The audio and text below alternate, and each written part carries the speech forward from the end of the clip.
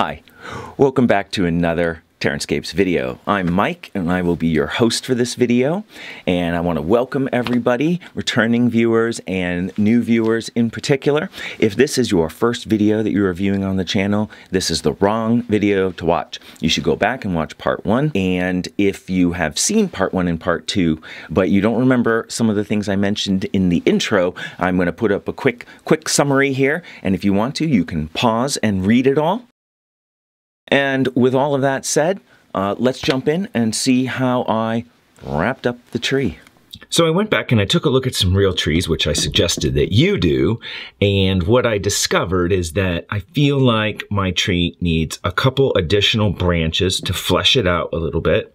One of the things I noticed is that especially the lower branches, they have a much more horizontal uh, growth pattern uh, which makes sense because as there are branches above it, right, it has to stretch out laterally to capture that light. So I'm going to add a few branches here and there to uh, flesh out the volume of the uh, tree and, you know, as a sort of canopy and then I can have these branches make more sense when they go more laterally so that there are some branches above them and I believe that is going to really add a lot of realism to the tree and a lot more interest uh, as to me even when I was building it before uh, when I was working on it previously I felt like the uh, number of branches felt maybe a little sparse.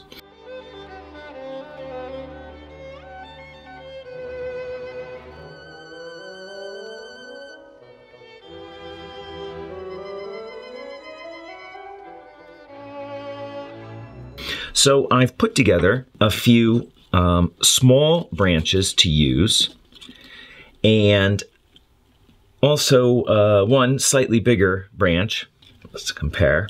And uh, I'm going to add these uh, to the uh, tree and try to uh, blend it smoothly into the existing tree structure and then uh, hopefully have something a little bit more realistic and possibly something a little more fun to work with uh, towards the end as it's going to have a little bit better shape and a little bit more uh, flexibility on where I can add foliage and create uh, different sections of foliage on the tree rather than just having a simple, you know, canopy, right? I can have a little bit of canopy in different areas to kind of give it a lot more visual interest.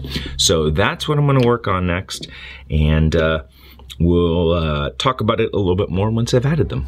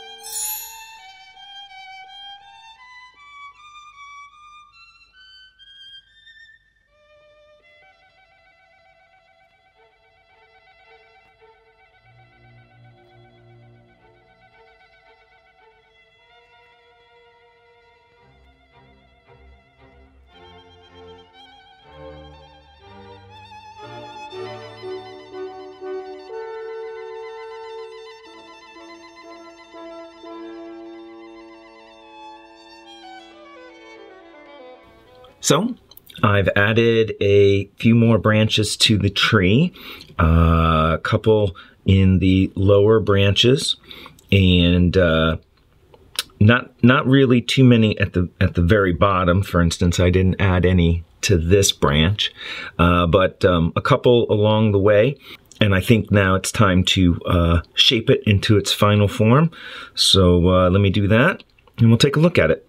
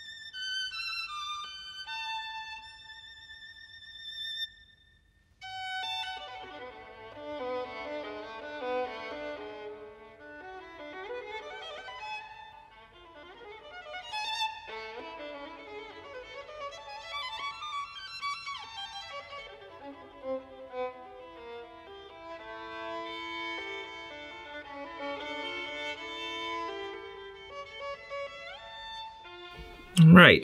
I am feeling much, much better about this tree now. Those extra branches were really important to fleshing it out. And now when you look at it from above, you can kind of see what I was talking about, where I try to have, trees try to have, I should say, uh, one second. Trees uh, develop their branches right to fill voids as the light is coming down on the trees, right? So I have uh, moved the branches out to extend past the branches that are above it. And in that way, um, I'm able to, uh, the tree, virtual tree here, is able to capture the most light possible. So um, hopefully you can see that pattern uh, you know, uh, through the camera and and whatnot. Um, but also, if we take a look at it from this angle, right now I have the lower branches uh, much more horizontally placed. I also uh, find that a little movement in the trunk is interesting. So rather than having, you know, the central stock just going straight up, right? I have a little bend in it, a little, a little twist, and I think that gives it um, a much more interesting look. And I went back in and I did do just a little bit of uh, fill around some of the new branches where they joined, but not too much.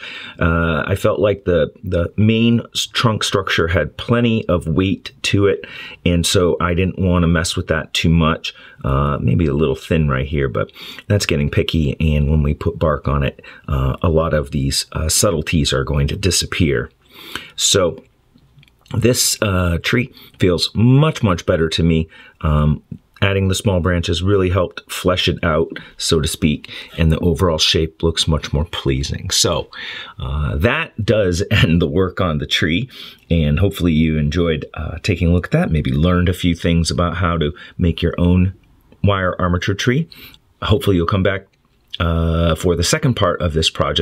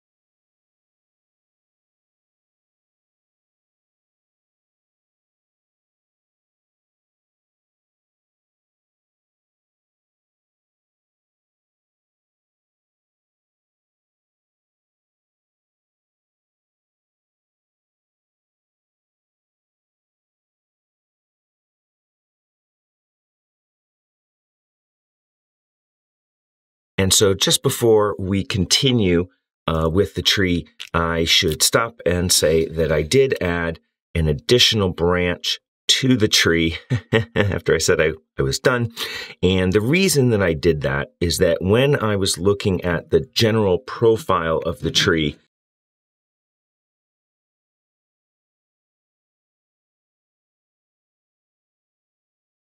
I felt like the tree's shape was a little too pointy in the center, a little too thin, because this entire branch, right, was not here. So if you can picture this bent, um, or look at the previous uh, section of the video, right, it, it had a very uh, triangular shape coming down. And I don't think that is as realistic for the tree that I envisioned. Uh, I'm in my mind, I'm seeing this as a maple or perhaps an oak, and they tend to have a fuller uh, upper canopy. So what I've done is I have gone back in and added, and I will say that adding this branch was quite difficult uh, because the um, base of it could not thicken this area heavily without that cascading all the way down. So that goes back to the uh, saying that planning ahead will serve you uh, well in the end. Now, saying that, however, this can also be viewed as a relaxing project and you're having fun with it. And when you step back and you look and you say, oh, this tree needs a little extra branch, uh, that's fine. I mean, it is hobby, uh, but it is to say that, you know, if you're trying to create several trees for a layout or a particularly large diorama or something of that nature, having to go back in and fiddle with the join between these two sections uh, is a little bit, you know, it's going to add some time. So uh, that's a sort of caveat.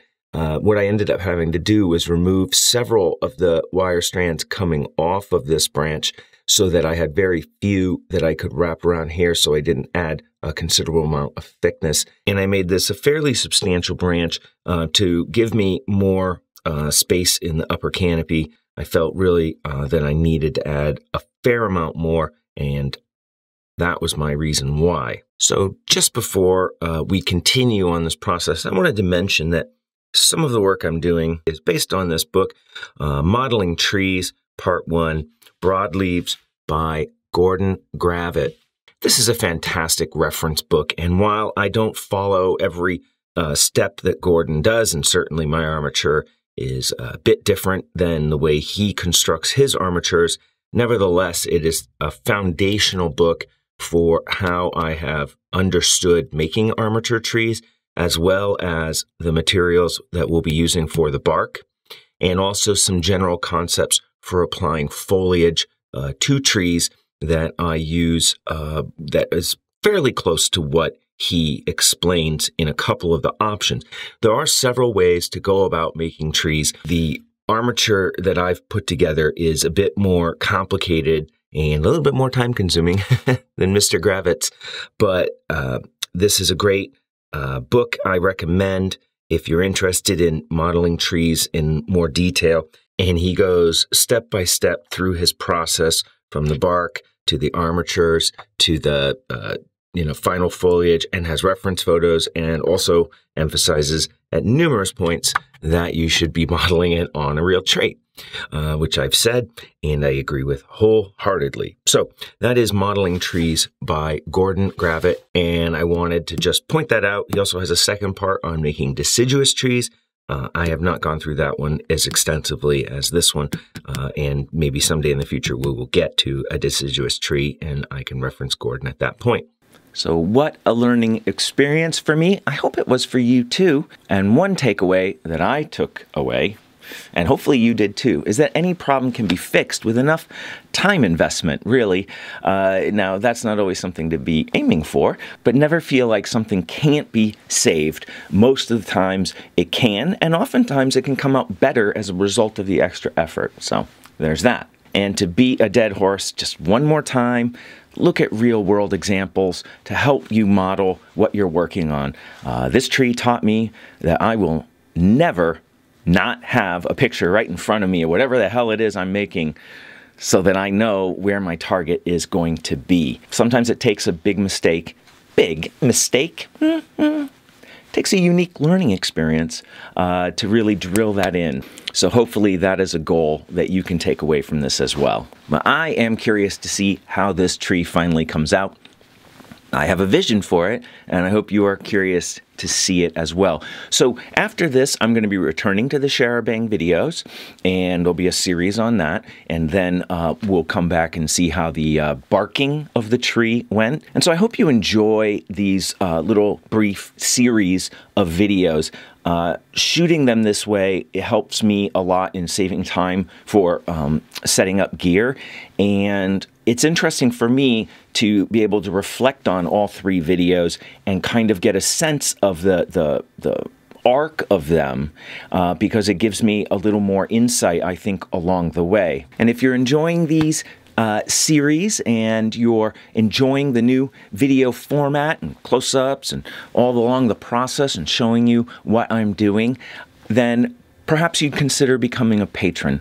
Uh, when you become a patron, it allows me to continue pushing my work forward and, and striving for new creativity and more detailed projects instead of creating very small, simple projects that are uh, aimed more at just drawing in massive subscriber numbers to trans to transmute that into uh, YouTube advertisements. And I don't want to make content for YouTube or Squarespace or Marvel movies or for Wix. Wix advertisements are so annoying. I want to make my content for you. And when you become a patron, you support that and help that continue. But the most important thing to me is that you come back and see the next videos on the Sarabang and maybe uh, cocktails and comments because you know that I will be back soon with another Terranscapes video.